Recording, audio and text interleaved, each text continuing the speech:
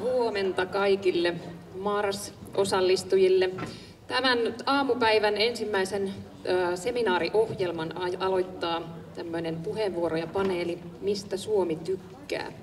Ja ensimmäisenä meille tässä alustuksen tulee puhumaan Semi Purhonen, jonka jälkeen siirrymme sitten asiaa käsittelevään paneeliin. Oikein hyvää päivän jatkoa teille ja mä aina kerron tässä välissä, mitä ohjelmaa seuraavaksi on luvassa. Tervetuloa Semi Purhonen.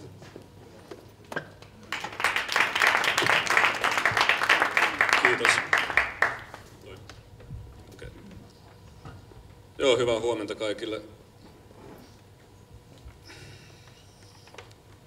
Mun nimi on Semi Purhonen, mä oon Tampereen yliopistosta. Ja mä nyt panin mun otsikokseni suomalainen maku ja musiikki. Mä en kehdannut panna suomalainen musiikkimaku. Tässä tämä suomalainen maku on kirjan nimi. Kyseessä on viime syyskuussa Kaudeamuksen kustantama kirja, jonka mä oon tehnyt yhdessä tällaisen työryhmän kanssa, jossa on mukana mun lisäksi Jukka Grono, Frie Heikkilä, Nina Kahma, Keijo Rahkonen, Arho Toikka. Ja tämä kirja pitäisi olla myynnissä myös täällä, jos jotain kiinnostaa. Ja tässä mun esityksessäni mä aluksi kerron yleisesti tämän teoksen niin kuin kysymyksen asettelusta ja taustasta. Sitten mä menen tarkemmin, ää, sanon jotain tarkemmin musiikista tämän teoksen näkökulmasta. Ja lopuksi mä esitän niin sanotun Suomen kulttuurisen kartan ja näytän sen pääulottuvuudet ja sen, miten tällaiset myöskin musiikkiin liittyvät asiat, maut ja osallistumisen tavat siihen asettuu ja sijoittuu. No tämä alaotsikko teoksella on kulttuuripääoma, kulutus ja elämäntyylien sosiaalinen eriytyminen. Ja tässä todella musiikki on tässä vain yksi kulttuurin ala, jota me tarkastelemme. Me tarkastelemme tässä hyvin laajasti myös muita kulttuurin aloja. Musiikki on kuitenkin hyvin tärkeä osa tätä teosta, kuten tässä kestyksessä palaan tähän myöhemmin. No toi alaotsikko kertoo myös tästä näkökulmasta ehkä, siinä on tämä merkillinen kulttuuripääoman käsite. Se, kuten ehkä jotkut teistä voivat tietääkin, on tällaisen ranskalaissosiologi Pierre Bourdieun tunnetuksi tekemä käsite, jolla hän on halunnut korostaa tällaista pääoma- ja resurssin näkökulmaa myös kulttuurin piirissä. Eli idea on se, että yhteiskunnan kerrostumisen ja tällaisten epätasa-arvon ja valta-asemien ja statuskamppailuiden kannalta kysymys ei ole vain taloudellisista resursseista tai sosiaalista resursseista, vaan myös kulttuuri on tärkeä. Kulttuurikaan ei ole sellainen alue tietenkään, missä yksilöt ja ihmiset ja sosiaaliryhmät olisivat niin kuin tasaveroisia tai tasa-arvoisia. Ja kulttuurikin voi toimia niin kuin elämässä resurssina, joillain on tällaista kulttuurista pääomaa, tietämystä, taitoa, arvostettua makua enemmän kuin jollain toisilla. Tämä asettaa myös kysymykseksi sen, voiko kulttuuristakin syrjäytyä ja minkälaisen niin kuin, etulyöntiaseman sitten taas tällaiset hyväosaiset ryhmät voivat kulttuurin keinoin saada. Ja se ajatus ehkä voidaan pelkistää, tämän näkökulma-ajatus siihen, että kyse ei ole vain siitä, että, että, että kulttuurielämässä ja kulttuuri ilmaisisi epätasa-arvoa, vaan että myös kulttuurin, kulttuurin avulla, kulttuurin kulutuksen ja makujen avulla, kulttuurisen osallistumisen avulla, miten se jakautuu epätasaisesti yhteiskunnassa, niin se myös voi tuottaa ja ylläpitää sitä eriarvoisuutta.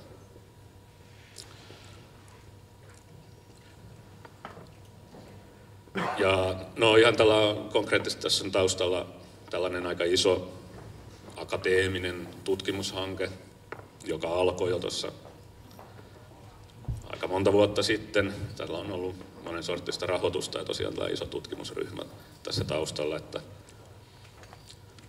mä en ole tässä niin kuin ainoa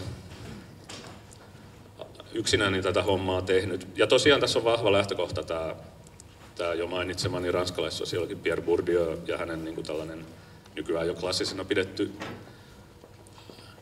La Distinction tutkimus, joka alun perin julkaistiin jo 70-luvun lopussa. Minä kutsun sitä kansan tällä tavalla yksinkertaisuuden vuoksi vain distinktiotutkimukseksi.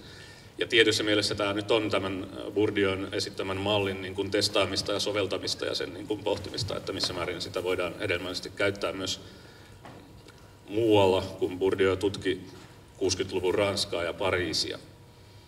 Ja se perusajatus hänellä oli, että todella että tämän kulttuuripiiri on keskeinen tällaisten statuskamppailuiden areena täällä Ranskassa. Ja hän esitti, että ää, sosiaalisten asemien hierarkia ja kulttuuristen makujen hierarkia vastaavat toisiaan. Puhuu tällaista rakenteellisesta vastaavuudesta, homologiasta näiden välillä.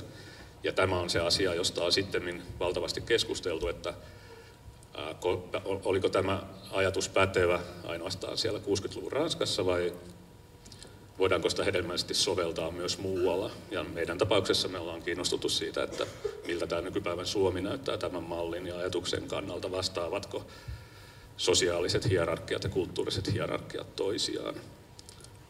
Ja tässä on niin kuin tämän ympärille, tästä keskusteltiin Suomessakin jo silloin 80-luvulla, mutta että ei koskaan tehty tällaista systemaattista ja laajamittaisempaa tutkimusta. Ja tässä niin kuin kansainvälisesti ehkä tuossa 2000-luvun taitteessa tuli jopa tällainen, niin kuin siitä alkoi tällainen buumi tällä alalla, että tämä otettiin jotenkin vakavasti, vakavammin empiirisen tutkimuksen ja soveltamisen kohteeksi eri maissa, jossa me, tämä meidän tutkimus on tavallaan osa tätä, tavallaan tätä buumia.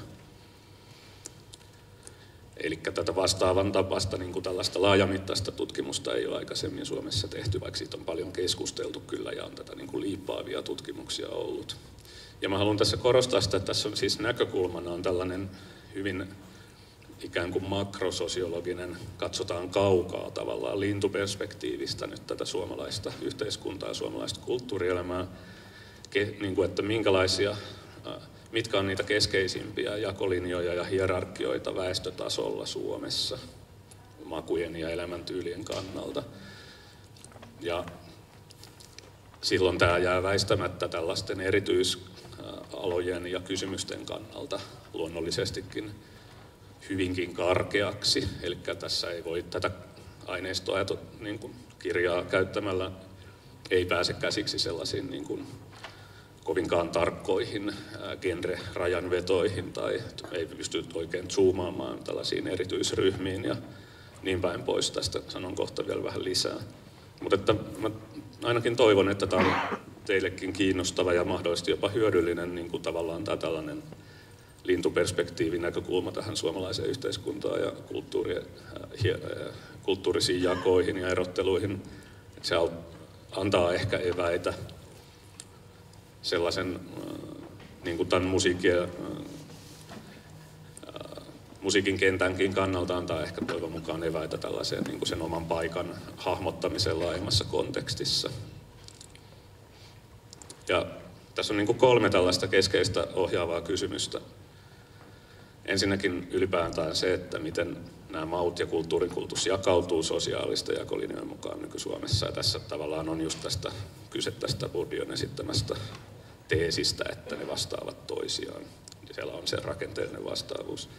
Toiseksi me kysytään, että järjestyykö nämä maut ja kulutuksen tavat laajemmiksi elämäntyylillisiksi kokonaisuuksiksi. Bourdieu esitti tavallaan väitteen, että maut ovat johdonmukaisia kenttien yli. Eli musiikin tutkiminen, musiikkimaun tutkiminen sinänsä on tietysti kiinnostavaa, mutta tästä näkökulmasta se on erityisen kiinnostavaa. Mä, kun mä tutkin musiikkimakua, mä ajatus on, että se kertoo jotain myös laajemmin, että, että jos sieltä löytyy tällainen johdonmukaisuus, että ne asiat rakentuvat ja järjestyvät samalla tavalla myös muilla kulttuurin kentillä. Että kysymys voisi olla tällaisista laajemmista johdonmukaisista elämäntyyleistä. Ja viimeinen kysymys on, että millaisia kulttuurisia hierarkioita nyt Suomessa näihin makuihin ylipäänsä liittyy, vai onko ylipäänsä vallalla tällaista ajatusta laajasti tunnistetuista arvostuseroista mausta. Bourdieu puhuu siis kulttuurista legitiimiydestä ja tästä kulttuuripääomasta.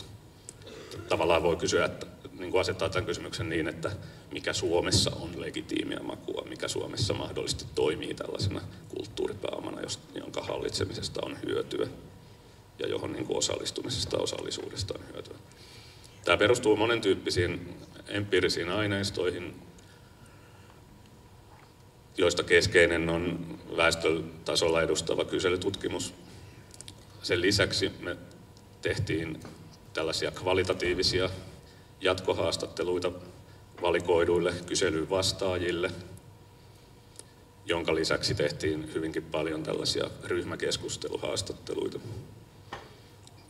Ja jos tätä metodologista tai tavallaan, miten tämä tutkimus, näitä aineistoja, millä tavalla niitä käsitellään, niin tiivistetään, niin tässä pyritään tällaiseen muodollisen ja vapaan tavallaan yhdistämiseen ja ennen kaikkea kattavuuteen ja monipuolisuuteen. Siis sillä tavalla ensinnäkin, että tämä kattaisi kulttuurin laajasti. Tässä ei ole kysymys vain niin kuin ikään kuin taiteista, vaikka ne onkin niin kuin tärkeitä. Mutta tässä ajatellaan, siis katetaan myös populaarikulttuuria. Eli tässä siis on kuusi tavallaan kulttuurin ala- tai kenttää tarkastelussa. Musiikin lisäksi on kirjallisuus, kuvataiteet, televisio, elokuvat, uh, urheilu, liikunta tai ruumiin kulttuuripukeutuminen ja sitten viimeiseksi syöminen ja juominen. No, sitten tähän monipuolisuuteen liittyy myös se, että tässä niin yritetään katsoa monelta eri kantilta. Uh, et, et jos, okei, okay, jos tutkit makua, niin silloin sen Ensimmäinen on tietenkin se, että kysymys on tällaisista makupreferensseistä, että siitä mistä sä tykkäät todella. Että selvitetään sitä, kysytään ihmisiltä, mistä sä tykkäät. Ja se on niin kuin tärkeä asia. Mutta sen lisäksi on niin kuin tärkeää, mitä sä oikeasti teet. Käytkö sä konserteissa, kuunteletko sä musiikkia ja niin päin pois. Eli tämä osallistuminen ja tekeminen. No tämän lisäksi sitten tärkeää on tällainen kulttuurinen tietämys, että tunnistaako ja ylipäänsä näitä taiteilijoita ja kulttuurituotteita ja kulttuuriobjekteja missä määrin. Ja viimeinen tavallaan asia on sitten tällaiset ihan omistukset, voidaan niin kuin ajatella kokoelmia tai niin päin pois. Eli musiikin osalta tosiaan siis tämä maku on sitä, että kysytään, että missä määrin pidät klassisesta musiikista tai hiphopista. Ja osallistuminen on sitä, että kuinka usein käyt rock-konserteissa tai muissa konserteissa. Tietämys on sitä, että meillä on ihan konkreettisia niin kuin tällaisia sävellyksiä ja biisejä ollut, että, että oletko kuullut tämän kappaleen ja jos olet, niin pidätkö siitä tai et. Jolloin vaihtoehto on myös, että vastaan, että en ole kuullutkaan tästä ikinä tästä Olavi Virran hopeisesta kuusta, mikä oli kyllä täysin äärimmäisen harvinaista. Ja sitten tietenkin nämä omistukset on niin musiikitapauksessa niin kuin tällaisia äänite- tai levikokoelmia. No joo, sitten käyn, tässä on tosiaan tällainen, niin kuin puhutaan kvantitatiivisen ja kvalitatiivisen materiaalin yhdistämisestä. Ja teoreettisesti, vaikka meillä Bourdieu on niin kuin tällainen selkeä lähtökohta, niin tässä pyritään ottaa myös tällaisia uudempia keskusteluita huomioon. Ja se, mitä mä haluan myös korostaa, niin kuin, että tässä on niin kuin tällainen relationaalinen, eli niin kuin asioiden suhteita painottava näkemys. Eli, eli tässä ajatellaan, että näiden tarkasteltujen kulttuuriobjektien ja yksilöidenkin merkitys syntyy niiden välisistä suhteista tavallaan, eikä niistä itsestään. Eli tässä, kuten tullaan näkemään, niin aina voi tavallaan niin kuin tarttua johonkin yhteen, yhteen, että miksi tässä on kysytty, että pidätkö Metallican Enter Sandmanista vai et. Ja se voidaan niin kuin tietenkin kyseenalaistaa, että miksi tässä on just valittu tämä näin eikä joku muu. Mutta tällaisen yhden yksittäisen objektin niin kuin tarkastelu ei olekaan tässä se pointti, vaan se, että sitten kun tätä yhtä verrataan niin kuin muihin kysyttyihin, sitten näitä muita musiikin alan kysymyksiä verrataan muiden kulttuurialojen kysymyksiin ja siitä muodostuu se kokonaisuus, jossa on mukana sitten niin kuin satoja näitä eri mittareita. No tässä on selvä, että mä oon niin kuin tällainen rehellinen ja joviaali kaveri, että mä otan tässä heti nämä rajoitteetkin esiin, että kuten ehkä jo huomasittekin, nämä aineistot on jo niin kuin tavallaan nyt tietysti tällä päivän polttavalla tasolla vanhentuneita. Valitettavasti akateeminen tutkimus on hyvin hidasta. No sitten tässä on sellainen selkeä rajoite, että hirveän usein niin kuin keskustelut tällä alueella, niin se mikä kiinnostaa on, niin kuin, että mikä, että muutokset ja trendit. Niin muakin kiinnostaa ne, mutta mun täytyy olla tosi kielikeskellä suuta, kun mä puhun näistä muutoksista, koska jos mä haluan niin kuin de facto analysoida niitä muutoksia, mulla tarvitsisi olla niin kuin aineistoa useammalta kuin yhdeltä ajankohdalta. Tässä tapauksessa on vain yhdeltä ajankohdalta. Ja sitten tämä, mitä mä mainitsin, että kun on väestöllisesti edustava otos kyseessä aina tämän kyselytutkimuksen osalta, niin silloin nämä erityisryhmät tuppaa jäämään katveeseen. Ja alakulttuurit, eliitti, jne, vaikka ne onkin niin kuin, ne, niillä onkin kiistämätön merkitys erityisesti tällaisten makujen dynamiikan kannalta. Sen takia me osittain kerättiin niitä ryhmäkeskusteluita, että niillä pyrittiin kattamaan näitä erityisryhmiä. Mutta tässä teoksessa niitä ryhmäkeskusteluita vähemmässä määrin analysoidaan. Anteeksi, juon pienen hörpyn välillä.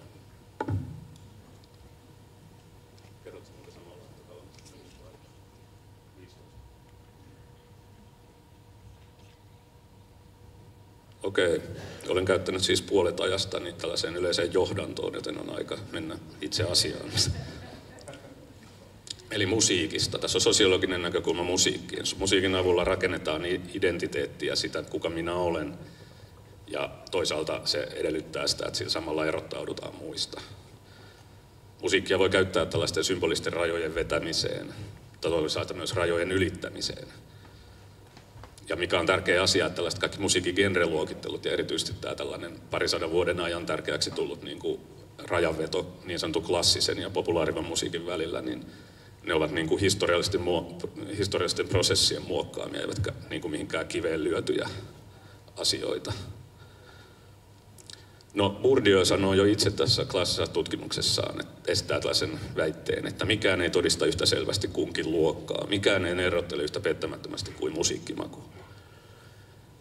Ja hän, niin kuin, se oli silloin jo siellä 60-luvun Ranskassa, että musiikki oli keskeinen tätä. Ja, ja kyllä itse asiassa näin on tässä meidänkin tutkimuksessa, että kun me voidaan niin kuin verrata niin kuin, ikään kuin erilaisia analyysikeinoja näitä tarkastelemiemme kulttuurin kenttiä, mikä, miten siellä nämä erottelut menee ja näin, niin myös meidän tulos on se, että musiikki osoittautui kaikkein erottelevimmaksi näistä tarkastelemistamme kulttuurin aloista Suomessa. Tässä mulla on vaan ihan esimerkkinä just näitä, miten näitä on kysytty. Että, että on esimerkiksi tällaisia genrepitämisiä, missä määrin pitää eri musiikkigenreistä, 13 genreä. Ja tämä on siis, että okei, 13 genreä, siis on tässä sosiologisessa tutkimuksessa, tämän tyyppisessä tutkimuksessa on aika paljon, mutta että okei, siellä on niin kuin rock, niin on se niin kuin huikea tällainen niin kuin kategoria, joka pitää sisällään vähän mitä sattuu. Ja että jos niin kuin jäätäisiin vaan näihin genreihin, niin silloin tämä olisi hankalaa tämä homma. Sitten meillä on, esim, tässä on esimerkki näistä, että on konkreettisia säveltäjiä te, biisejä, jolloin niin kuin ei ole enää epäselvää se, että mistä on kyse, kun on niin kuin fiksattu se täsmällisesti se objekti sinne. Ja tässä on niin kuin taustalla, me haluttiin saada vertailukelpoista dataa niin kuin tällaiseen yhtäaikaisempaan englantilaiseen tutkimukseen ja sitten joitain muutettiin vähän niin kuin, muuttunut, vähän niin kuin samankaltaisia ja sitten lisättiin jotain ihan omiakin. Mutta tosiaan toi, tässä ei ole tarkoitus mennä noihin. Siis ihan niin kuin tämä peruskuvio, mitä tämä musiikkimaku nyt ja, jakautuu tällä väestötasolla, jos ollaan tällä hyvin niin kuin karkeita. Voidaan pelkistää, että se jakautuu niin kuin kolmeen tällaiseen makutyyppiin tai klusteriin. Korkeakulttuuriseen klassiseen musiikkiin, sitten tällaiseen kansanomaiseen iskelmämusiikkiin ja sitten pop ja rockin tällaiseen eri alalajeineen kategoriaan. Ja tämä klassinen musiikki asettuu siis selvästi niin kuin tämän, ikään kuin tämän kansanmusiikin ja rockin niin kuin yläpuolelle nauttien legitiimimmästä asemasta. Sitä pitämistä määräytyy hyvin pitkälle yksilön pääomien määrän mukaan, ja se on myös naisvaltaista. Ja tämä kansanmusiikin ja popin välinen suhde ei taas ole yksiselitteisen tällainen hierarkkinen, vaan se on tällainen horisontaalinen. Eli tässä tämän kansanmusiikin, joka pitää siis iskelmät ja kotimainen kansanmusiikki tällä ja sitten tämä pop, kaikki nämä laajenee, niin se liit, niiden välinen ero liittyy ennen kaikkea ikään. Ja tämän popin rockin sisältä voidaan sitten erottaa keskeisimpänä erona niin kuin tällainen rock heavy osasto versus sitten tällainen elektroninen tanssimusiikki hip hop osasto. Ja näiden keskeinen ero on siinä, että menee iän mukaan sillä tavalla, että tämä rock heavy osasto on, on siis suosittua myös tällaisten 50 keskuudessa. Ei tietenkään ihan yhtä suosittua kuin nuorten, mutta kuitenkin. Eli se suosio romahtaa vasta siellä ihan vanhemmissa ikäluokissa, 60-70-vuotiaat. Kun sit, ja, ja sitten se rock heavy on siis miesvaltaista myös siitä pitäminen. Mutta sitten sit tämä elektronisen hip-hopin niin se ikään kuin se yläikäraja on niin kuin alempi, että se, niin kuin se suosio romahtaa siinä jo reilus kolmeskympissä. No me, tässä on yksi esimerkki, että kun me käsitellään näitä kutakin kulttuurialaa, myös musiikkiin, niin me päätteeksi esitetään tällainen, niin kuin, tämä on ehkä hieman tällainen provosoiva tapa esittää, että ikään kuin, että mikä olisi kaikkein yksinkertaisin tapa mitata tätä tällaista kulttuurista arvostuseroa ja legitimiteettiä, niin yksi, yksi sellainen hyvin karkea tapa on katsoa, mikä on kaikkein korkeimmin koulutettujen ja kaikkein vähiten koulutettujen suhde sen asian suhteet, kuinka monet siitä pitää. Ja tässä on nyt pantu kymmenen tällaiseen musiikkielämään liittyvää asiaa niin kuin tämän mukaan niin kuin hierarkkiseen järjestykseen. Eli se, että on kuullut Maalerin viidennen sinfonian ja pitää siitä, on yli 11 kertaa yleisempää korkein, korkeakoulututkinnon suorittaneiden keskuudessa kuin vähiten koulutettujen keskuudessa. No on kuullut Miles Davisin Kind of Blue ja pitää siitä, niin sekin on neljä ja puoli kertaa yleisempää. Inhoaa kotimaista iskelmämusiikkiakin on samoin kuin pitää klassista musiikin, ne on kolme kertaa yleisempiä korkeasti koulutettuja. Niin näitä voidaan siis kaikkia pitää, että ne on niin kuin kulttuurisesti legitiimejä tässä mielessä. No sitten on niin kuin tavallaan tällainen neutraali alue, jossa näiden äärikoulutuksellisten ääripäiden välillä ei ole mitään isoa eroa. Pitää rockista, on kuunnellut kaikkia tässä kysyttyjä musiikilla. Että äärimmäisen neutraali on esimerkki nyt on esimerkiksi se, että kuuntelee silloin tällä radio Yle Ykköstä sitten nämä, jotka menee niin kuin alle yhden, alkaa olla niin kuin tavallaan sellaisia vähemmän arvostettuja, eli niistä pitäminen on niin kuin yleisempää sitten tässä vähiten koulutettujen ryhmässä, niin siellä ikään kuin alimpana on se, että inhoa klassista musiikkia, että se on lähes kolme kertaa yleisempää vähiten koulutettujen keskuudessa. No sitten ennen kuin mä menen tähän ää, kulttuurisen karttaan, niin mä haluan vielä, tämä on mun niin kuin mieliaihe, mistä mä aina haluan sanoa, kun on niin yleistynyt tämä puhe tästä kulttuurista kaikkiruokaisuudesta, sitä ei varmaan kauhean moni voinut välttää. Eli siinä on siis ajatuksena se, että 90-luvun alusta lähtien on amerikkalaisissa musiikkimakututkimuksissa ja sen jälkeen muuallakin havaittu se, että tällaiset korkean statuksen ryhmät, mikä niiden mausta tekee erityisen, ei olekaan se, että ne tykkää muita enemmän korkeakulttuurisesta klassisesta musiikista, vaan se, että niiden makurepertuaari on laaja, kaikkiruokainen. Ja sitten alempien ryhmien maku olisikin suppeempaa, ne rajoittuu vaan johonkin tiettyyn populaarikulttuuriosaan. Ja, okay, ja sitten tämä niinku väittää, että okei, tällainen high-low-jako, korkea-matala jako korvautuisi just tällaisella. Keskeinen jako kulttuurielämässä onkin tällainen omnivore-univore, niin kuin kaikkiroikaisuus, yksipuolisuus. Okei, ja siis näin on myös siis yksinkertaisesti, jos tsekataan näistä datoista ja missä tahansa suomalaisesta datasta näin, niin on myös Suomessa. Mitä korkeampi sosiaalinen asema, sitä ikään kuin lavempi on maku. Esimerkiksi jos mittaa suoraan noissa, kuinka monesta noista musiikkigenreistä pitää, niin näin se menee. Mutta nyt mä pääsen siihen mun lempiasiaan ja sanon sen tosi nopeasti. Tarkempi analyysi kuitenkin osoittaa, että tämä maku, joka nyt näyttäytyy tällä tavalla laveana, josta yksinkertaisesti noin mittaa, niin sekin on tosiasiassa valikoivaa ja erottelevaa, eikä mitään sellaista oikeaa toleranssia, kaikki niin kuin editing goes suvaitsevaista, vaan se rajaa nimenomaan ulkopuolelleen ne kaikkein vähiten arvostetuimmat kulttuurin osat. Ja musiikin tapauksessa just se, tällaiset kaikki ruokaisimmaksi näyttäytyvät yksilöt, niin sinne puhuu niin kuin tota, että dumaa kuitenkin sitten tavallaan sivulauseessa tällaisen kaikkein kaupallisimman musiikin ja niin päin pois. Ja tärkeä pointti on niin kuin siinä, että tällainen maun laveus ja avoimuus ylempien näiden ryhmien arvostamana asiana ja sitten toisaalta se, että tämä maku eriytyy sosiaalisesti sosiaalisen aseman mukaan, niin ne ei sulje toisiaan mitenkään pois, ne ei ole ristiriidassa keskenään. Kun se tilanne on se, että siellä ne ylemmät ryhmät, ne pitää edelleen muita useammin siitä ikään kuin korkeakulttuurisesta klassisesta musiikista ja sitten valikoiden siihen kombinoi sitten tällaisia popkulttuurielementtejä niin päin pois, mutta sitten siellä alemmat ryhmät, niin ne, niiden maku rajoittuu sitten, niin tosiaan se klassinen niin kuin ikään kuin on niiden ulottumattomissa.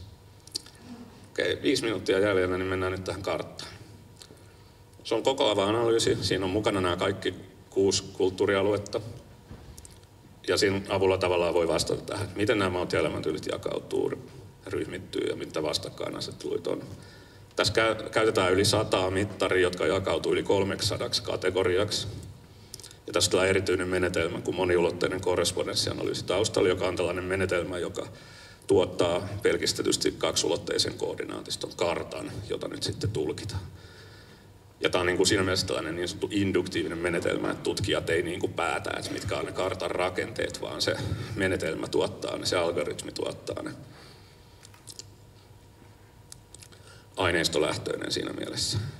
Ja mitä karttaa luetaan? Siinä on siis pisteitä, jotka on näitä kategori- kulttuurisia muuttujia, niitä kategorioita, niiden sijainnit määrittyy suhteessa toisiin sijainteihin. Jos kaksi pistettä on lähellä toisiaan, se tarkoittaa samanlaisuutta, jos erilaisia, se tarkoittaa erilaisuutta. Ja jos siis siellä on, että pitääkö rockista pitääkö klassisesta, jos kaikki vastaajat, jotka pitää rockista, olisi pitänyt myös klassisesta, niin menee pisteet samaan paikkaan. Jos yksikään ei pidä näistä kummastakin, ne menisi vastakkaisiin päihin niin kauas toisista kuin mahdollista. Nyt on tää hankala zoomaushomma. Aa. Niin, ei ole kosketusnäyttö kyseessä. Ihmekään, ettei toiminut. On tää surkea tää MacBook. Eli pitää tulkita ne perusulottuvuudet, niin ensimmäinen ulottuvuus, se menetelmä tekee siitä vaakatasoisen eli horisontaalisen. Niin yksi tapa, mitä se on helppo se tulkinta tehdä, on se, että plotata siihen kartalle ne muuttujat, jotka vaikuttaa sen, kontribuoi siihen, siihen sen ulottuvuuden rakentumiseen keskimääräistä enemmän. Tässä nähdään, että tällä oikealla puolella on tällaisia muuttuja, kun käy oopperassa, pitää kla- käy klassisen konserteissa, käy Savonlinnan operajuhlassa, tykkää oopperasta, jatskonserteista myös, Pedro Almodovarin elokuvista, Varholista, Susista niin edespäin tämä on hyvin konventionaalista tavallaan klassista korkeakulttuuria. Ja sitten tämän vastapuoli täällä vasemmalla on se, että aika lailla, niin kuin, että ei pidä näistä samoista tekijöistä, mutta pitää kuitenkin Spede Pasasen elokuvista, jos lukee seitsemän päivän lehteä ja tosi TVtä ja salattuja elämiä.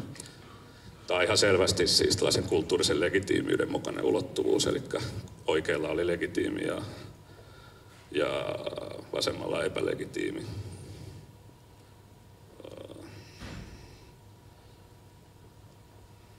Mitäs mä nyt tästä pääsenkään. Saankin. Noin. Ei.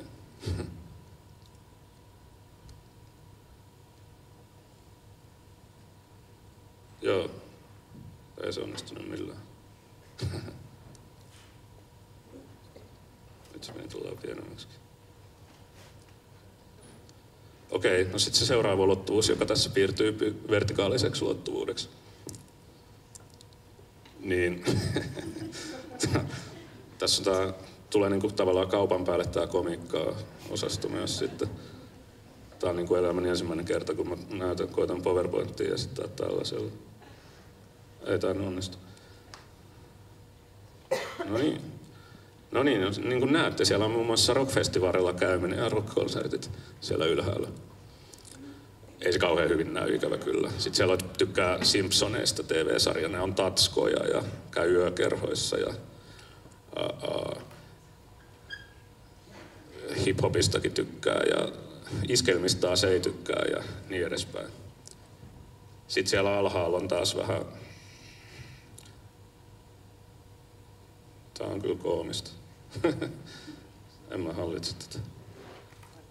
Niin alhaalla on sitten se, että tykkää TV, katsoa telkkarista murtomaa hiihtoa ja hengellisestä musiikista, mutta ei käy ikin festareilla ja niin päin pois. No voitte arvata, että tämä niin kuvaa modernia ja, yhtä, ja traditionaalista kulttuuria niiden välistä eroa.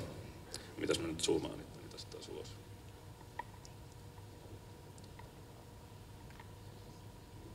Okei. Okay. Ja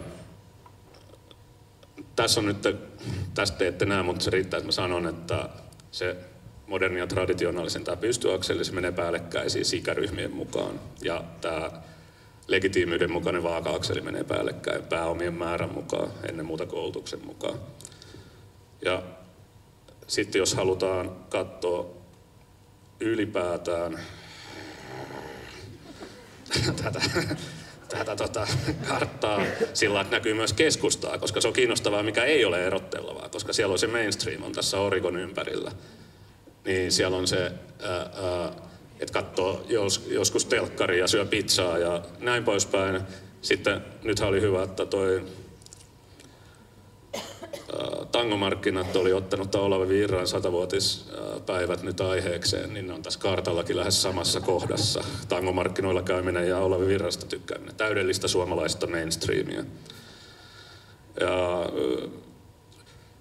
tämä nyt tosiaan, että jos haluaa nyt siis katsoa vielä näin, että meillä oli tämä niinku festarit, ja se oli tällainen niinku yleisrockfestivaaleilla käyminen, niin se on siis, okei, okay, se on niinku selkeästi moderni kulttuuri ja aavistuksen legitiimin puolella, joka johtuu niin kuin tavallaan siitä, että tällainen niin kuin aktiivisuus, tapahtumiskäyminen, niin se aina niin kuin on tyypillisempää ikään kuin uh, korkean sosiaaliryhmien porukalle kuin uh, muille.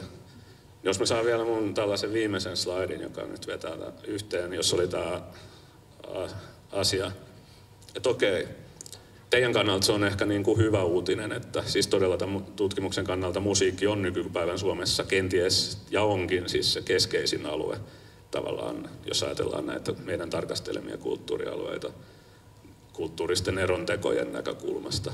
Se on ehkä sen takia hyvä asia, koska se, että se niin kuin, ihmisillä on mielipiteitä siitä, se on ihmisille siis tärkeää. Se sen avulla voidaan tehdä eroja ja siellä on eroja ja jännitteitä. Se tarkoittaa, että se on niin kuin merkityksellinen ja niin kuin elävä ikään kuin kulttuurimuoto ja alue. Mutta siis se on itsestään selvää, että ihmisten, mikä meilläkin tuli tärkeänä havaintona, että näissä musiikkiharrastusten niin kuin intensiteeteissä on valtavaa vaihtelua. Ja ehkä kannattaa panna mieleen myös se, että on niin kuin merkittävä joukko ihmisiä, joille musiikki kuitenkaan ei ole lainkaan tärkeää. Okei, ja sitten se keskeinen tulos tässä on, että siis tämä hyvin konventionaalinen tavallaan vastakkainasettelu klassisen kor- korkeakulttuurisen musiikin ja popkulttuurin tai klassisen ja popin välillä, niin se on pitänyt pintansa ja se edelleen jakaa hyvin vahvasti siis tätä musiikin kenttää ylipäänsä suomalaisten maku- ja jäsentymistä. Kiitos. Kiitos Semi Purhonen ja nyt pyydetään meidän panelistit tänne paikalle moderaattorina Ilkka Mattila, panelistina Semi Purhonen, Turo Pekari, Markku Pyykkönen. Tervetuloa.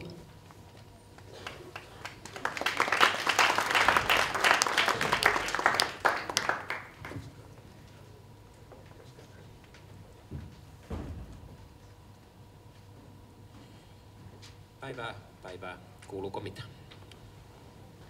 Hyvää huomenta tai puolta päivää.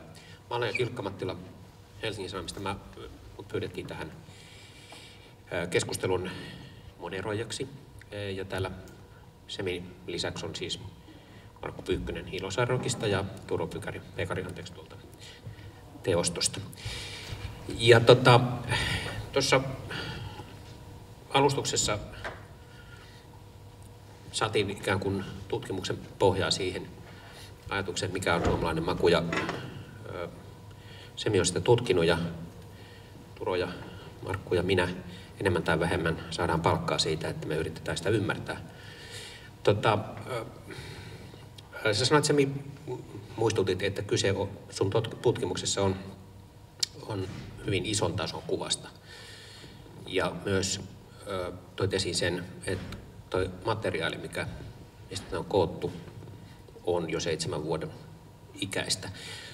Kuinka paljon me voidaan sitten nykymaailmassa, seitsemäs vuodessa tapahtuu nykyään varsinkin populaarikulttuurissa todella paljon, kuinka paljon me voidaan hyödyntää tuota tietoa esimerkiksi musiikkialalla työskentelevinä? Siis sä aloitit lyömällä heti vyön alle. Se on tämä viihteellinen osuus tässä. No tota, se on totta, että kulttuurielämässä tapahtuu paljon, mutta toisaalta siinä on niin kuin vakiintuneita ja tavallaan tällaista hitautta ja luutuneisuutta tuottavia rakenteita. Ja siis tällainen perussosiologinen tutkimustieto osoittaa ennen kaikkea sen, että ihmisten niin kuin, ää, maut ja käytännöt, niin ne ei kauhean nopeasti muutu. Eli mä oon aika vakuuttunut siitä, että jos puhutaan tästä kokoavasta analyysistä kulttuurista karttaa, Suomen kulttuurista karttaa koskien, että ne ulottuvuudet ovat edelleen ne samat. Myös jos ajattelee näitä tällaisia julkisia keskusteluita esimerkiksi, joita on niin viime vuosina tässä sen varrella käy, käyty, mitä me ollaan niin tätä tutkimusta hitaasti väännetty, esimerkiksi koskien Helsingin musiikkitalon rakentamista tai nyt jotain Guggenheim-museota ja näitä muita vastaavia, niin, niin, niin siellä on ihan selvästi pohjalla nämä ikään kuin ne samat hierarkiat, joita tässä nyt pyritään kuvaamaan sen ikään kuin klassisen ja popin välillä. Ja kysymyshän on niin kuin viime kädessä sitten tällaisten julkisten niin kuin tukivarojen niin kuin kohdentamisesta tällaiset vanhat niin kuin kulttuuri versus, opera versus urheilu tai muut. Ja, et en mä näe niin kuin mitenkään, että nämä keskeiset niin kuin rakenteet ja hierarkiat olisi tässä ollut nyt missään kovassa myllerryksessä. Toki sitten, jos mennään niin kuin zoomataan lähe, niin kuin sinne niin kuin mikrotasoille, niin kyllähän siellä siis, että okei, että nyt on niin kuin, niin kuin, ku, musiikin kuuntelun väline, niin kuin, että se on, niin kuin, on, on niin kuin mullistunut tässä tällä välillä ja on niin kuin merkittäviä muutoksia niin kuin tietenkin monella tavalla, mutta että mun on ehkä vaikea nähdä, että ne niin kuin näitä perusjakoja kuitenkaan muuttaisi, olisivat muuttaneet. Mitäs sitten, Turo ja Markku, tunnistitteko te omien kokemusten perusteella noin peruslinjat, mitä tuossa Semin tuloksissa oli? Mä voisin muutaman, muutaman kommentin sanoa. Mä ostan, ostan aika hyvin kyllä sen, että just klassinen musiikki on varmaan edelleen tämmöinen musi, musiikkiala, jota voidaan ajatella niin, että se on korkeakulttuurista ja eri, tietyt yhteiskuntaluokat tykkää siitä, mutta sitten taas kevyen musiikin puolella niin alkaa olla hyvin paljon pirstaleisempaa ja mun mielipide on se, että siellä ehkä niin musiikki on enemmän semmoinen henkilökohtaisen itseilmaisun väline, että se ei ole enää niin luokkasidonnaista. Pari juttua, mitkä on aika keskeisiä Suomessa, niin on, on kotimaisuus. Suomessa on, voi sanoa, että tun, tunnustettu fakta, että suomalaiset rakastaa kotimaista musiikkia, ja varsinkin kun puhutaan radio, radiosta tai perinteisten äänitteiden ostamisesta, niin kotimainen musiikki on tosi isossa osassa. Mutta sitten, jos puhutaan ikäluokista, ne on ehkä musta tärkeämpi asia kuin yhteiskuntaluokat, niin siellä taas nuoriso ei kuuntele niin paljon kotimaista musiikkia. Ja yksi asia, mitä mä voisinkin se, se miltä just kysyä, kun sä puhuit kanssa, että hip-hoppi kuuntelee ne maks 35-vuotiaat rockia 50 asti, että onko tässä nähtävissä jotain sellaista, että nuoret kuuntelee laajemmin eri genrejä tai enemmän kansainvälistä musiikkia, mutta sitten kun ne täyttää 40, niin ne taantuu ja rupeaa kuuntelemaan iskelmää. Vai käykö niin, että sitten kun ne on nykyiset nuoret on jo vähän vanhempia, niin ne edelleen kuuntelee monipuolisemmin musiikkia. No toi on taas toinen iskuvyön alle. siis, kun just tätä muutosta nyt ei pysty suoraan sanoa tästä omien datojen pohjalta, mutta, että, mutta nimenomaan se menee näinkin meillä, että mulla nyt jäi sanomatta se, että juurikin tämän modernin ja traditionaalisen välinen erottelu ja ulottuvuus on myös kotimaisen ja kansainvälisen välinen ulottuvuus. Eli se moderni kulttuuri, siis tämä nuoriskulttuuri käytännössä, joka on siellä ylempänä, niin se on nimenomaan kansainvälistä. Siellä on niin kuin, ja, ja sitten kun ollaan täällä traditionaalisella perinteisen kansankulttuuripuolella, niin se on ehdottomasti jopa suomalaiskansallista.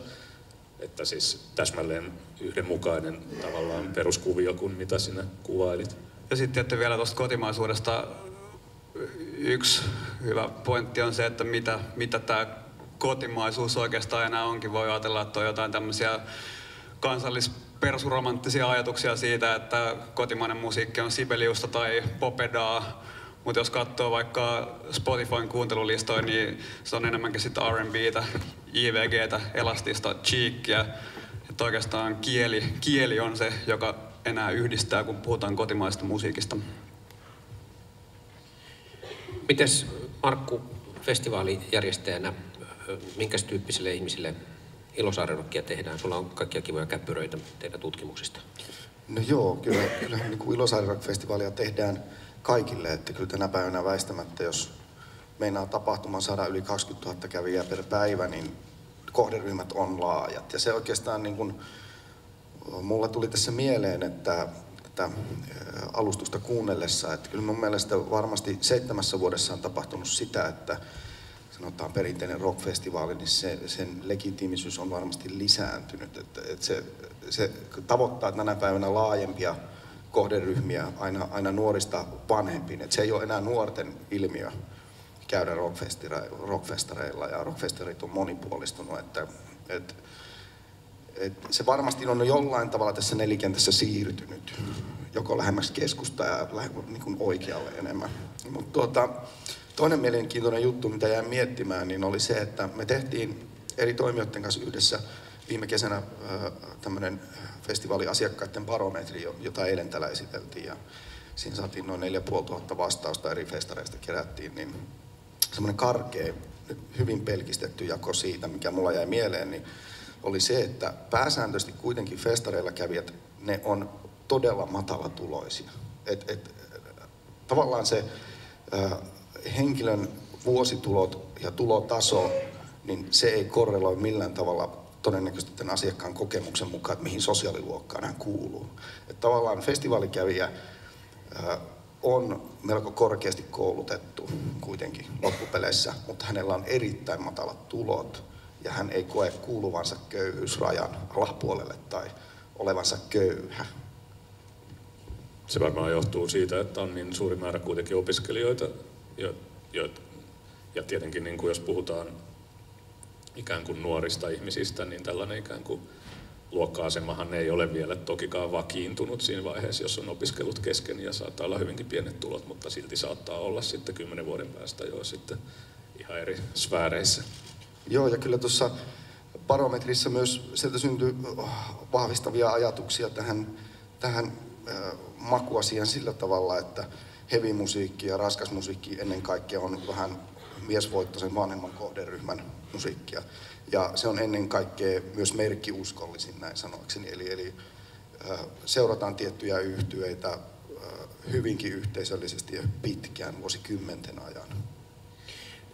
Tuossa, äh, kuten Semi alustuksessaan sanoi, että, että sitten kun mennään lähemmäs mikrotasoa ja tutkitaan sitten niin kuin pienempiä alagenrejä, niin tässä syntyy sitten toisenlainen näkökulma, mutta eikö Markku festivaaleissakin on, festivaalin sisällä on tietynlainen tämmöinen hierarkia, että on olemassa laatutietoisten ja itseään edelläkävijöiden kävijöinä pitävien suosimia festivaaleja, sitten on hyvin kansanomaisia semmoisia massakuluttajafestivaaleja. Esimerkiksi on eri asia käydä ö, esimerkiksi Flowssa kuin juhannuksen imoksella. No joo, kyllä näin voidaan sanoa, että toki jos tyypitellään vähän niin kuin asiakasprofiileittain, niin, niin, niin kyllähän sieltä voidaan jonkinlaisia tämmöisiä ryhmittelyjä tehdä, jotka seuraa tietyn tyyppisten tapahtumien perässä ja nämä, nämä henkilöt sitten ovat hyvin poikkeavia toista. Sanotaan näitä ääripäät voisivat olla nimenomaan heavy-musiikin kuuntelijat, yli 30-vuotiaat miespuoliset, merkkiuskolliset ja heidän vastakohtansa todennäköisesti, ainakin tämän tuottajaparo, tai asiakasbarometrin mukaan, niin on tämmöiset äh, danse-yleisö. Et, et se se niin kuin vahvasti sieltä pystytään tyypittelemään ulos, ja, ja, joka on taas sitten alle 20-vuotiaat ja matalatuloiset naispuoliset eteläsuomalaiset. Et, et se, sieltä voi hakea tämmöisiä eroja, ja, ja toki silloin niin kuin eri tapahtumissa niin kohderyhmät vähän muotoutuu sen mukaan. Sitten on ehkä semmoisia poikkeavia, tietyllä tavalla poikkeavia tapahtumia, ehkä tässä tyyppinen Ilosaari Rock, jossain määrin Flow ja Ruisrock, että ne kerää taas hyvin niin kuin erityyppisiä ihmisiä riippumatta, että se on rockfestivaali tai tämmöinen yleistapahtuma, jossa on vähän kaikille kaikkea. Niin ne pystyy silti keräämään hyvin niin kuin tämmöisen monipuolisen joukon eri, eri kuluttajatyyppejä. Semmoinen tuli mieleen Markku, että oletteko te selvittänyt sitä, että onko olemassa kuinka iso semmoinen ryhmä, joka, joka käy festivaaleilla niiden festivaalien takia, eikä välttämättä sen musiikin takia. Nykyään on paljon muuta, muitakin festareita kuin musafestareita, on ruokafestareita, on juomafestareita ja, ja oikeastaan nämä on asioita, mitä myös pyritään yhdistämään myös nykyään rockfestivaaleille mahdollisimman paljon kaikkea tätä, sitä y- yleishäminää. Ainakin mulla on semmoinen kutina, että varsinkin Flow on semmoinen paikka, mihin mennään enemmän niin kuin hengailemaan, että ihan sama ketä siellä esiintyy. Tota, tosi hyvä kysymys. Oikeastaan kaksi ajatusta tulee siihen, että tuossa eilisessä barometrikyselyssä siinä oli kuusi tämmöistä erilaista äh, kuluttajatyyppiä hahmoteltu ja, ja sitten kun katsotaan asiakkaiden vastauksien mukaan eri festivaaleista, toteutetaan tässä esimerkkinä vaikka Flow, niin äh, siellä tämmöiset kaikkiruokaiset kuluttajat, jotka menee uuden musiikin perässä, haluavat oppia uutta, saada uusia kokemuksia, niin se oli selkeästi iso ryhmä. Mutta missä määrin taas sitten tämä joukko on semmoinen, mikä tulee sinne vain flown takia, pelkkien artistien takia, niin se on kysymysmerkki. Tosi mielenkiintoinen kysymys. Sitten jos peilaan taas omaan tapahtumaan Ilosaarirokkiin Joensuussa, niin meidän niin asiakaskyselyiden mukaan, jota me tehdään vuosittain, niin ehkä tähän voisi liittyä semmoinen kysymys, jossa kysytään, että kuinka monta kertaa on käynyt Ilosaarirokissa. Ja meillä suurin kävijäryhmä tapahtumassa on henkilöt, jotka ilmoittaa, että ne on käynyt kahdeksan kertaa tai enemmän. Niin silloin voi miettiä sitä, että välttämättä sille joukolle ei ole maailman tärkeä asia ne artistit, mitä me kerrotaan, vaan se kokonaiselämys, tunnelma ja se meidän brändi ja ne ystävät, jotka siellä on. Ja se on ylivoimaisesti meidän sitoutunein kävijäryhmä. Tota, toi yksi asia, mikä tuli mieleen tässä ei, ei niinkään festivaalin, vaan äänitteiden käyttämisen, musiikin kuuntelun kannalta. Tuossa Semin tutkimuksessa mainittiin muun muassa, että levykokoelmien kerääminen, joka on yksi erottava tekijä. Nykyään kuitenkin, kun musiikin kuuntelutavat on huomattavasti erilaisia kuin silloin, kun esimerkiksi tuota tutkimuksen on kerätty, niin kuinka paljon, Turo, sun mielestä musiikin kuuntelumetodi kuuntelualusta tai mitä tahansa nimitystä käytetään, vaikuttaa siihen, mitä musiikkia kuunnellaan. Esimerkiksi mä katsoin tänä, tällä viikolla Spotifyn kymmenitä ku, kuunnelunta biisiä Suomessa. Ensin ykkösen oli JVG ja Top Tenissa oli muistaakseni myös Elastisen biisi, mutta kaikki muut oli ulkomaista EDM. Ja siellä ei ollut lainkaan iskelmää, joka periaatteessa tutkimuksen mukaankin on Suomessa su- suosituinta. Joo, toi on ihan hyvä pointti. Samaan aikaan, jos katsoo vaikka tällä hetkellä levymyyntilistaa, niin siellä on lähes pelkästään suomalaisia levyjä, eli kuva on ihan, ihan toinen kuin vaikka Spotifyn kuuntelulistalla. Jos ajattelee kotimaisen musiikin osuutta streaming-palvelujen kuuntelussa, niin sehän on, on matalampi, matalampi kuin levymyynnissä. Se on vaan noin 25 prossaa.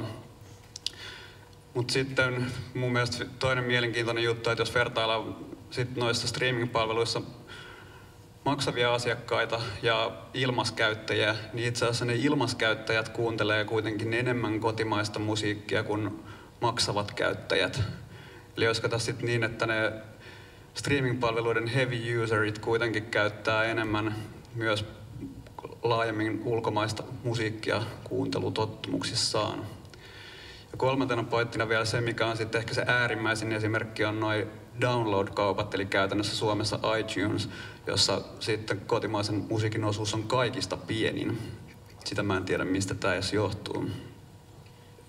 Jossakin määrin on, mä tunnistan myös tässä, tässä makuluokittelussa myös sen tyyppisen tietynlaisen elitistin, jonka mielestä streaming-kuuntelu on liian kansanomasta ja todellinen musiikin ystävä kerää vinyyliä ja, ja maksaa kaikesta hyvin paljon, koska se on myös tapa erottua, eikö näin?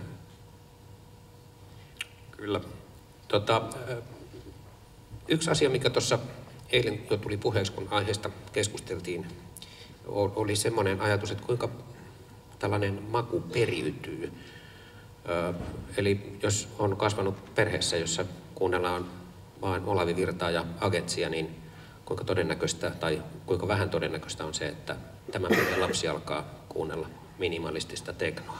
Onko sulla se tähän mitään ajatusta? Siis jossain määrin maku periytyy, ei suoraan, mutta että siis se on tämän, tavallaan tässä meidänkin tutkimuksessa omaksutun näkökulman kannalta siis keskeinen pointti on se, että ne ikään kuin kulttuuriset resurssit ja eväät, joita saa niin kuin lapsuuden kodista, ne on niin kuin tosi tärkeitä. Ja tavallaan sieltä tavallaan, jos, jos tavallaan tällainen ylipäänsä se, että on tällainen niin sanottu kulttuurikoti, tai että jos on tällainen, rohkaistaan kulttuuriharrastuksiin, musiikkiharrastuksiin, ja että kuunnellaan musiikkia, puhumattakaan nyt sitten, jos puhutaan sit muista aloista, että luetaan kirjoja ja niin päin pois, niin siis se on se, se on se tavallaan se ta, yksi keskeisimpiä tavallaan niin kuin, nyt modernin yhteiskunnan niin kuin tällaisen epätasa-arvon niin kuin uusintamisen mekanismeja, joita kautta se tapahtuu, että, että korkeassa sosiaalisessa asemassa olevat aikuiset tota, niin kuin, tavallaan antaa ne eväät sitten omalle jälkikasvulle, jolloin heillä on niin kuin ikään kuin hyvinkin paljon paremmat mahdollisuudet sitten kyllä pärjätä omalla sitten kouluurallaan ja niin päin pois.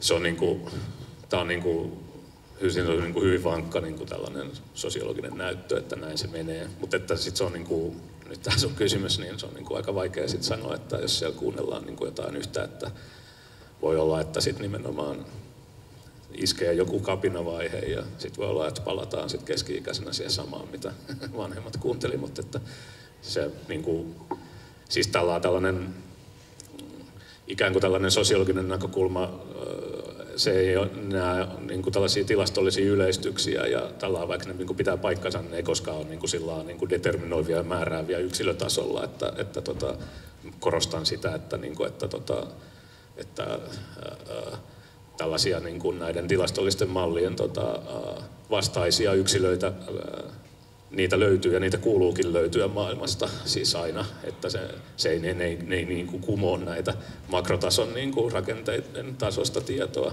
että meillä on niin kuin, tota, kouluttamaton tota, duunari, joka käy Raksal duunissa ja sitten se tota, niin, niin, kuuntelee jotain sinfonioita kotona.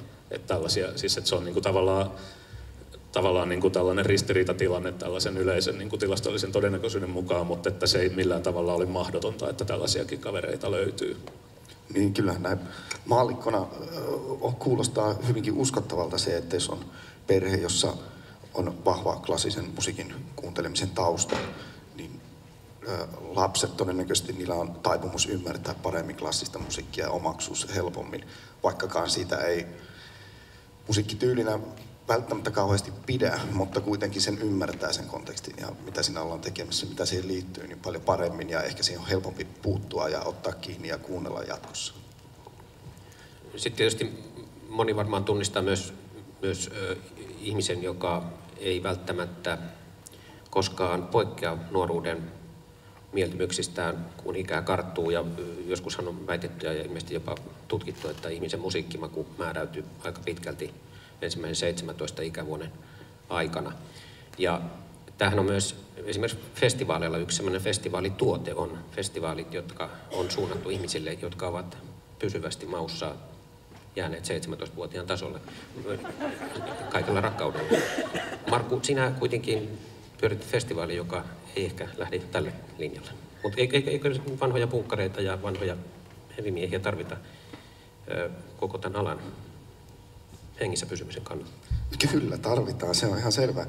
Ja, tota, ja se, on, se on kyllä totta, että varmasti tuossa heavy kuuntelijayleisössä, niin siellä, jossa on se merkkiuskollisin porukka, niin, niin varmasti voisin, voisin sanoa, että on aika tyypillistä se, että jos teinikäisenä on kuunnellut Iron Maidenia, niin se kuuntelee Iron Maidenia vielä 40 vuoden päästä ja käy konserteissa useammin kuin ehkä jotain muuta musiikkityyliä kuunteleva henkilö ja, ja käy festareissa ja niin päin pois.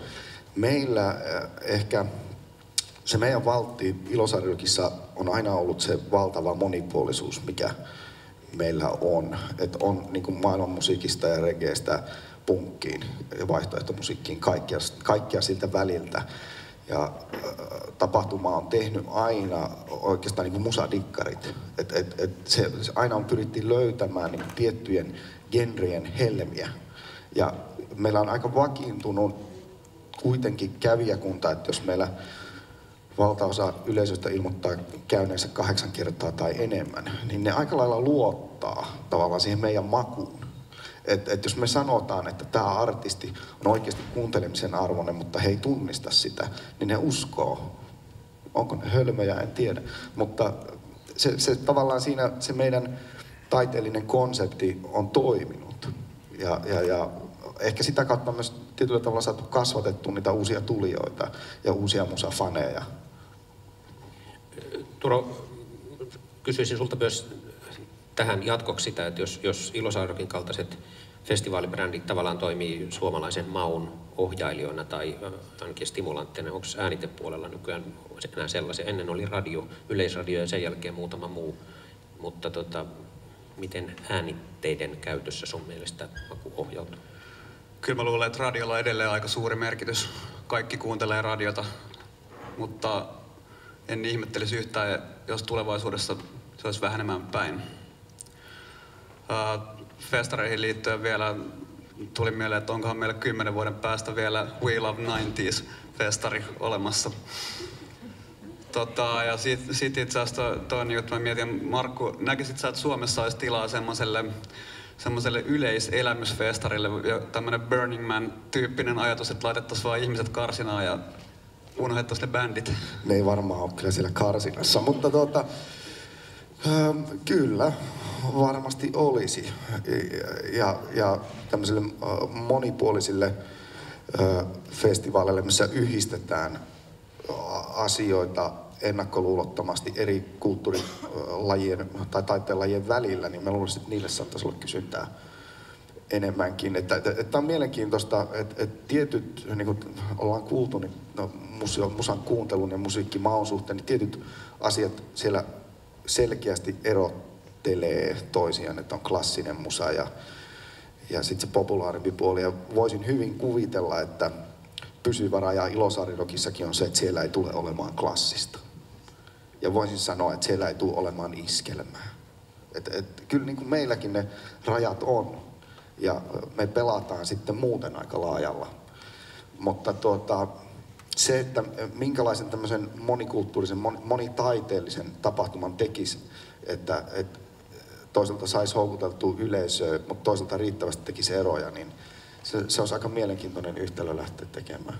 Et, et sitten jos tekisi tämän yleisen todella mainstreamin mukaan tapahtuma, niin se varmaan pitäisi olla se tangomarkkinat, Olavi Virta, Karjalan paisti ja kuha. Et siitä se niinku rakennus.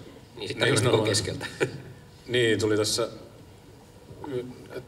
Tietyssä mielessähän voi ajatella, että Ilosaari Rockhan on niinku tavallaan tällaista tietyssä mielessä vähän tällaista rukin korkeakulttuuria.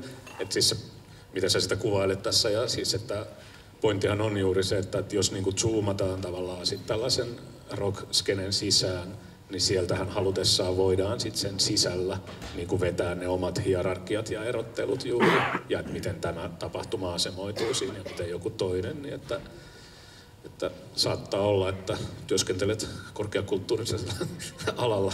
Tietämättäsi.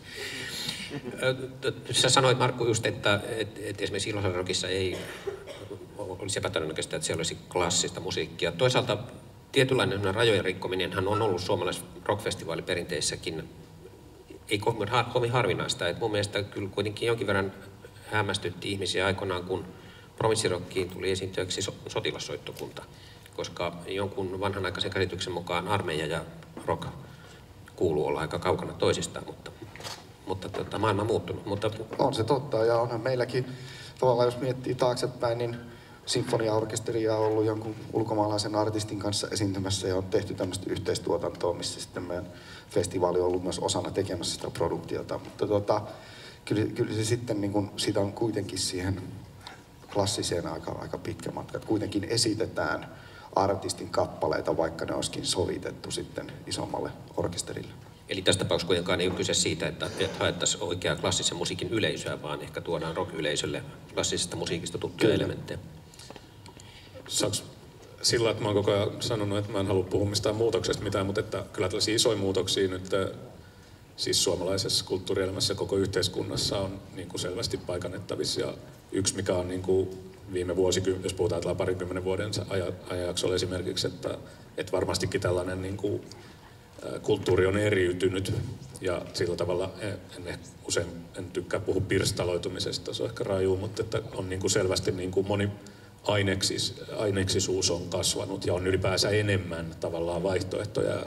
Tavallaan niin kuin kulttuuriobjektien määrä on ikään kuin myös ihan kasvanut. Ja sitten toisaalta siis tällainen niin kuin tavallaan tällaisten symbolisten rajojen ja genreen ylitykset on niin kuin tavallaan helpot niin kuin tulleet mahdollisemmiksi. Tavallaan tällaiset crossover-hommat ja niin kuin tällaista. Siellä on niin kuin tiettyjä tällaisia, Suomessa edelleen niin kuin on niin kuin suhteellisen laaja tällainen niin kuin näiden rajojen niin kuin uni, niin kuin universaalisuus siinä mielessä, että, ne jaka, niin kuin, että ihmiset laajasti kyllä tunnistaa niitä rajoja. Niin kuin, että joku Savonlinnan operajuhlit on niin kuin sellainen tiivistymä ja symboli niin kuin tavallaan tällaiselle niin kuin ajatukselle. Oli se sitten niin kuin tavallaan positiivinen tai negatiivinen ajatus siitä, että se on niin kuin tällainen, täällä on korkeakulttuuria, että siinä on ajatus, että se on elitististä ja niin päin pois. Ja niin se niin kuin, nuoremmissa ikäluokissa se ei ole niin merkityksellinen symboli kuin se oli vanhemmissa, mutta se kuitenkin on hyvin vahva edelleen. Mutta sitten se on niin kuin hankalin tavallaan tällaisilla ulottuvuuksilla, jos ajattelee, niin hankalin kysymys koskee sitä, että onko niin nämä, että jos moniaineksisuus kasvaa ja niin kuin, että niin kuin rajojen ylittäminen niin kuin helpottuu tietyllä tavalla ja sitten että universaalisuus ehkä vähän niin kuin laskee siis sillä tavalla, niin sitten se hankalin koskee, koskee sitä, että että onko niin kuin hierarkiat säilynyt, että hierarkkisuus, että onko se niin kuin, niin kuin tasottunut vai niin kuin jopa noussut. Ja se on niin kuin, siinä on niin kuin, siinä voi olla perustellusti montaa mieltä ja tavallaan niin kuin Suomessa niin kuin, näissä vanhoissa niin kuin 80-luvun sosiologisissa keskusteluissa painotettiin aina ja Suomi esitettiin niin kuin tavallaan sellaisena äärimmäisen tasa-arvoisena maana, hyvin homogeenisena, tällaisena, että okei, me ollaan niin kuin pieni sosiaalidemokraattinen, pieni kielialue syrjässä, ja sitten, että täällä kaikki, niin kuin, täällä ei ole kulttuurisia eroja, täällä olisi tarpeeksi niin kuin mitään niin kuin näitä kulttuuriobjekteja, täällä mitään tällaisia kulttuurisia hierarkioita voi muodostua. Meillä ei koskaan ollut mitään niin kuin aatelistoa vahvassa mielessä niin kuin Euroopassa. Täällä ei niin kuin ehtinyt muodostua tällaista kultivoitunut tällaisia makuja ja hierarkioita siitä korostettiin hirveästi silloin, niin siihen nähden, mikä se oli tämä tällainen yhtenäisyyden korostus, niin tämä meidän niin kuin tavallaan kirjan tulos on kuitenkin jännä, että, että näyttää siltä, että tämä niin kuin hierarkkisuus kuitenkaan ei ole lasken, niin kuin voisi ajatella, että se monianeksisuuden kasvu ja rajojen ylittämisen mahdollisuus laskisi automaattisesti hierarkkisuutta. Mutta se näyttää siltä, että se hierarkkisuus saattaa olla jopa kuitenkin tietysti mielessä jopa nousussa. Siis sillä mikä toki nyt on niin kuin tietysti tällaiset taloudelliset niin kuin erot on taas ollut kasvussa ja sitten toisaalta, jos taas taloudelliset erot ei ole kasvussa, niin silloin voi ajatella, että se on mahdollista, että silloin just jostain alueesta, kuten kulttuurista voi tulla kenties tärkeämpiä, siellä sitten tehdään kierroa eri tavalla. Mutta se meidän päätulos on se, mitä me voidaan epäsuorasti sanoa niin kuin näistä tällaisesta isosta muutoksesta, on, että hierarkkisuus ei ole laskus, vaan paremminkin kasvussa. Yksi mielenkiintoinen ehkä tämmöinen koko kansaa yhdistävä ilmiö tietty on nämä suomalaisten artistien areenakeikat, joita viime aikoina on ollut tosi paljon. Siinä herääkin heti kysymys, että onko nämä artistit yhtäkkiä niin paljon suositumpia. En mä tiedä, ei, ei välttämättä. Siinä on ehkä taas semmoinen tietynlainen ainutkertaisuuden ja yhteisöllisyyden luominen, mitä siinä, siinä haetaan. Ja ihmiset haluaa mennä katsoa tuommoisia iso, isoja tapahtumia ihan sen takia, että ne on isoja. Ja tietysti vain elämää on yksi selittävä asia siinäkin. Joo, ja kyllähän esimerkiksi se, että Cheek sai niin paljon ihmisiä Olympiastadionille, niin todennäköisesti ei kerro siitä, että suomalaiset yhtäkkiä olisi sankojoukoin alkaneet pitää räpistä, koska Cheek on tehnyt musiikkia, jossa rap on viety aika kauas alkuperäisestä räpistä ja myös suomalaista iskelmää, että todennäköisesti ne samat ihmiset, jotka maksoivat Cheekin Olympiastadionin lipusta, ei haluaisi kuunnella DJ Gridlockia. Ja se on tavallaan myös aika viime aikojen ilmiö, että tuommoisista jonkinlaista kulttuurielitin harrastamista musiikkilaisista, kuten hiphopista, tulee hyvin, hyvin suurtemassa musiikkia.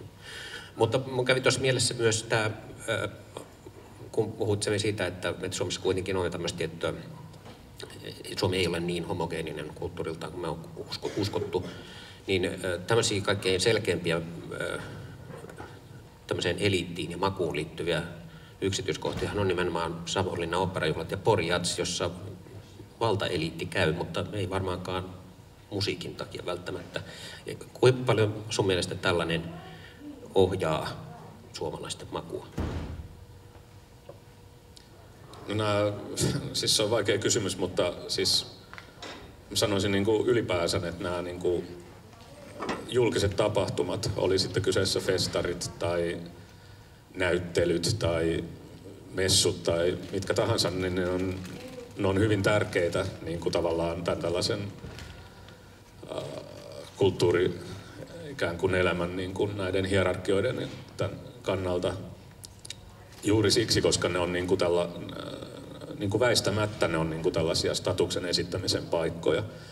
Että tavallaan kukaan ei vahtaa sua kotona, että mitä sä kuuntelet ja mitä sä katsot televisiosta.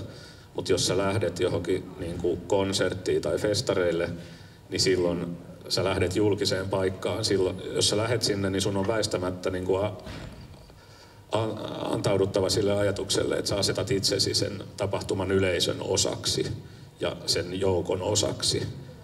Ja että voitaisiin mennä sinne tapahtumaan ja sillä uskotella itsellesi, että sä oot ihan erilainen kuin nämä muut. Siis sillä, että, että en mä kuulu joukkoon, mutta mutta sä kuulut, et sä voi sille mitään. Niin kuin, että ei se, sä et voi niin kuin, tavallaan hypätä sen tilanteen ja sen pelin ulkopuolelle. Ja niin kuin, tavallaan niin kuin, se, että sä, tällaisessa tapahtumassa on tällainen, siellä siihen osallistuvilla sillä yleisöllä on, niillä on väistämättä sellainen käsitys, että tässä on niin kuin jonkun tällaisen yleisön osana tai kollektiivin osana tai tapahtuman osana, niin sillä on niin kuin kiinnostava merkitys siis siinä mielessä, että se niin kuin, siitä syntyy, se niin kuin automaattisesti tuppaa luomaan tällaista yhteenkuuluvuuden tunnetta ja solidaarisuutta ja niin päin pois. Ja, ja se myös automaattisesti samalla, kun se luo tätä solidaarisuutta yhteenkuuluvuuden tunnetta, niin se siinä automaattisesti tuppaa syntymään sellainen, kun se tulee se mehenki, niin se tavallaan sitten tavallaan myös siinä erotutaan muista. Eli tämä tällainen stereotyyppinen kieltämättä ajatus siitä, että se porukka, joka kilistelee niin kuin konjakkilaseja jossain operan väliajalla, niin kuin, että se on kuitenkin, sillä on merkitys, että se on niin kuin, tavallaan luo, luo sellaista, sellaista niin kuin, tietyllä tavalla tällaista ää, eliitin niin kuin, sisäistä ää, solidaarisuutta ja se, se luo niitä rajoja ja sille ei oikein niin kuin, voi mitään. Ja se, siis että tällaiset niin kuin, kaikki että okei, nykyäänkin niin kuin, on niin kuin isot subventiot, niin kuin, että operaliput ei ole kalliita ja, ja, ja se ei ole niin kuin rahasta kiinni. Mutta se on niin kuin sosiologisesti täysin naivi ajatus, että se olisi rahasta kiinni, että mikä on se sosia- porukan niin kuin sosiaalinen tausta, joka siellä käy. Koska se, ajat, se, on paljon, se on ihan mitätön asia se lipun hinta siihen nähden, että ihmiset voi kokea sen niin kuin omakseen ja että ne voi asettaa itsensä osaksi sitä yleisöä. Ja tämä sama logiikka pätee samalla tavalla kuin se pätee operaan, niin se pätee yhtä lailla rockfestareihin. Et se on, kysymys on siitä aika paljon, että mikä, se, mikä on se syy tai selittävä tekijä niille ihmisille, jotka sinne tulee vai ei tule. Ja, ja tosiaan jos ajattelee sitä, että miten ihmiset laittaa rahaa musiikkielämyksiin ja sitten toteuttaa tätä makua, niin, niin yksi esimerkki on esimerkiksi konserttimatkat ulkomaille. Jos pitää jostakin artistista, niin ö, sitä on jollain tavalla arvokkaampaa lähteä katsomaan ulkomaille, kuuluisaan ulkomaiseen paikkaan, kuin se, että kävisi katsomassa sen saman jossain lähifestivaalilla. Otetaan kohta, jos mahdollista, niin tulee mahdollisuus siis yleisökysymyksille, mutta yksi pointti vielä, minkä mä halusin ottaa esiin, koska tota, tuossa tutkimuksessahan kun tutkittiin, mitattiin makua, miten ikä ja koulutustaso vaikuttaa tässä tapauksessa musiikkimakuun, mutta yksi tekijä, mikä myös saattaa vaikuttaa, on alueellinen, mistä päin ihmiset on kotoisin. Onko sulla, Markku, millainen tuntuma siihen, kuinka yhtenäinen tai hajainen suomalainen musiikkimaku on alueellisesti? Kyllä siinä on alueellisia eroja varmasti, että sanotaan näin, että no, taisin tästä eilen vitsaillakin, että tuota, jos mennään tästä muutama vuosi taaksepäin, tänä päivänä tilanne voi olla toinen, mutta tällä alueella esimerkiksi jonkun happoradion esiintyminen ei välttämättä olisi niin iso asia.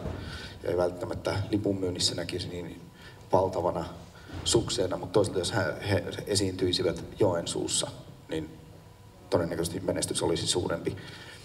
Samalla tavalla voi katsoa jotakin Lauri Tähkää tai Rehu Piikilestä, että niiden rooli täällä on todennäköisesti ja arvo isompi kuin jossain muualla päin Suomeen. kyllä, kyllä varmasti niin kuin sieltä löytyy tämmöisiä alueellisia eroja. Niin, oliko yleisössä tullut esiin ajatuksia, kommentteja, kysymyksiä?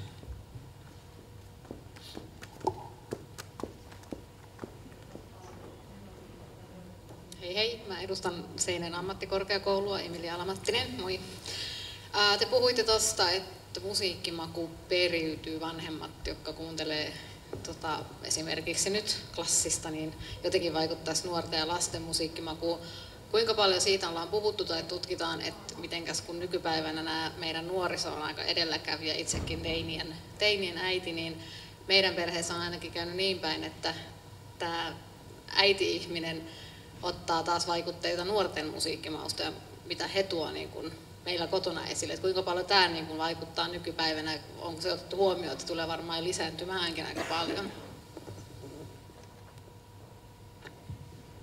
Niin, hyvät herrat. Niin, mä, ihan siis puhdasta maalikon vastausta ja, ja itsekin lasten vanhempana, niin toki varmasti nyt jos peilaa omiin vanhempiin ja, ja minkälaista musiikkimakua tai semmoista kulttuuriperimää sieltä on saanut, niin todennäköisesti omat vanhempani eivät olisi ottaneet hirveästi minun musiikkimausta vaikutteita, joka oli hyvinkin vaihtoehto musiikkivetoinen. Mutta toisaalta ajan saatossa on tapahtunut niin, että esimerkiksi minun vanhemmat saattaa tällä hetkellä kuunnellakin sitä Cheekkiä ja, ja, ja Timo Rautiaista ja tämmöistä. Että rock'n'rollista on tullut valtavirtaa ja se on, se on, siitä on tullut kaikkien musiikkia, mitä se ei ennen ollut. Mutta toisaalta nyt jos katsoo sitten suhteessa omiin lapsiin, niin minä musiikin kuluttajana, niin kyllä ottaisin lapsiltani vaikutteita siitä, että mitä he kuuntelevat, olisin kiinnostunut ja perehtyisin asiaan ja saattaisi olla, että sieltä joku jäiskin sitten kuunteluun ja jostain he niitä poimivat. Että, että tässä on varmasti niin kuin sukupolvien välillä tapahtunut myös jonkunlaista perhe, perhedynamiikassa jonkun tyyppistä muutosta. Kyllä mä olen samaa mieltä. Kyllä varmaan semmoinen tietynlainen ajan hermoilla pysyminen on nykyään yleisempää ja jonkinlainen nuoruuden ihannointi, 40 on nuus 30 ja 30 on nuus 20 ja 20 on nuus 10 ja niin, niin edespäin. Mä en vielä ota vaikutteita mun kolmikuukautiselta vauvalta, mutta, mutta kyllä mä uskon, että tota, tota tapahtuu kuitenkin, että myös lapsilta saadaan niitä vaikutteita. Joo, ja ylipäänsä niin kuin lähipiiri ja siis ihmissuhteet ja se, missä porukoissa ja skeneissä miljöissä liikkuu, niin se on, ei se maku ole niin kuin fiksattu ja pysy samana, vaan se yksilötasolla voi vaihdella hyvinkin paljon elämänkulun myötä. Ja jos kaveripiiri muuttuu, menee vaikka opiskelemaan johonkin tai sitten tulee avioero, niin mies voi viedä kaikki levykokoelmat mukanaan ja, tai toisinpäin. Tai, tai siinä kyllä tällaiset merkittävätkin muutokset ja katkokset on niin kuin yksilötasolla toki mahdollisia ja varmasti niin kuin nykyään se on joskus aikaisemmin se oli niin kuin tavallaan tällainen sukupolvien välinen kuilu oli niin kuin varmasti suurempi kuin nykyään, että nykyään varmasti tämä, että omilta lapsilta voi niin kuin ottaa sitten vaikutteita, niin on niin kuin todennäköisempää kuin joskus menneenä vuosikymmenen. Ja tässä vaikuttaa myös tietysti käytännön, ihan käytännön asiat, kuten esimerkiksi se, että viime kesänä Weekend-festivaalilla Helsingissä oli paljon myös keski-ikäisiä ihmisiä, jotka oli tullut sinne vahtimaan lapsia, jotka on alaikäisiä. Ja muistan kuulen joitakin, jotka on jopa pitäneet sitä musiikista, jota siellä soitettiin. Tuota, oliko vielä kommentteja, ehditään ottaa vielä yleisöltä?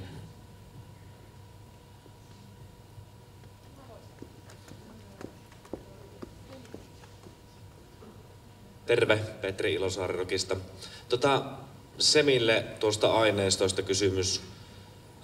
Minkä kanssa poppirokin kulutus korreloi, niin kuin miettii urheilua, muotia, ruokatottumuksia ja muuta? Et jos miettii yleisön tavoittamista, niin mistä tavoittaa ne rokin kuuntelijat? Niin, se pitäisi ehkä olla tuossa se kartta vielä esillä, että se pitää se pitäisi sanoa tota, tähän nyt se, että osta se kirja. Niin, niin tot, totta sieltä, tota, sieltä ove, oven tuntumasta sen näkee, että sieltä voi käydä luntaamassa. Että nyt vähän muisti kyllä pätkiä, että en sitä ihan täysin kuitenkaan ulkoa osaa, mutta tota, No joo, ehkä tämä on paras vastaus, että sieltä kirjasta on melkein sitten käytävä luntaamassa. Oliko siellä vielä yksi kommentti? Terve, mä oon Lissu Kirves Art Koskapakka-festivaalilta kysyin naapurilta kysymyksen, joka kysyn nyt teille. Ää, tuli mieleen tuosta äiti-lapsi-asiasta. Tällaiset yleiset kansalliset positiiviset kokemukset, esimerkiksi genreittäin. Ää, mitenköhän esimerkiksi Loodin voitto Euroviisussa vaikutti silloin siihen kenttään, että mummot pelkäs satanismimusiikkia, mutta sinänsä semmoinen yleinen hyväksyntä siihen, sit kun ne voitti. Että okei, okay, että tämä hevi itse asiassa onkin ihan tosi jees. Ja sitten rupesi kaikki niinku semmoista tietyn kentän heviä tykkäämään, että ah, nyt on, kun voitettiin nuo Euroviisut, niin se olikin ihan hyvä juttu se musa sitten. Tuli mieleen, miten ne vaikuttaa yleisesti ja jatkossa mielipiteisiin ja näkemyksiin. Ja nopeat siis, tiivistetyt vastaukset. Siis tämä koko heavy ja raskas musiikki on Suomessa ihan poikkeuksellisen suosittua ja tämä Lordi oli varmaan yksi tekijä, joka siinä töitä, että kaikki varmaan muistaa Matti Vanhasen näyttäneen näitä merkkejä, joka on hieman koomista. Mutta et, siis tähän liittyy vaan sosiologisesti yksi joke sinänsä, kun on 90-luvulta Amerikasta yksi sellainen, sellainen tunnettu tutkimusartikkeli, jonka, joka liittyy just tähän kaikkiruokaisuuteen ja musiikissa, että sen otsikko oli Anything but Heavy Metal. Eli Jenkeissä siis se, ne kaikki ruokaset, niin kuin se olisi ainoa, mikä ei kelvannut, oli se hevi, mutta että Suomessa näin ei todellakaan siis ole, että, siis, että se hevi ei, ei ole mitenkään siellä niin kuin pohjalla, jota vieraksuttaisiin. Hyvä, kiitoksia keskustelijoille, kiitoksia yleisölle. Semin kirjaa saa ostaa tuolta tuon oven suusta käsittääkseni. Ohjelma jatkuu täällä tauon jälkeen. Kiitos. Kiitos.